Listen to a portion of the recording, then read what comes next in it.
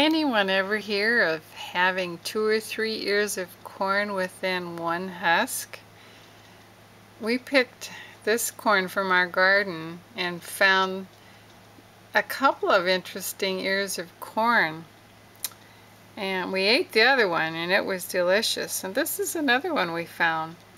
It's, uh, it's just got two in the husk, but we did find one that had three and we ate that one.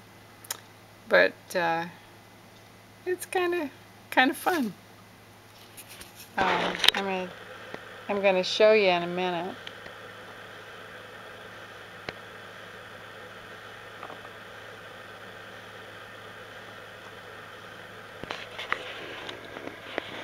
What we did is we ate this one. So all I have left is the picture of it I opened it up and I saw the one ear and then the baby, the, the next one.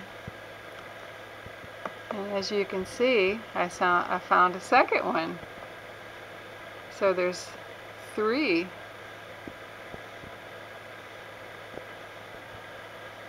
That's what it looked like.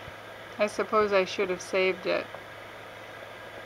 But um, we ate it and it was delicious. And this corn was found in our garden. We live in Rapid City, South Dakota, and it was um, picked in September 2009.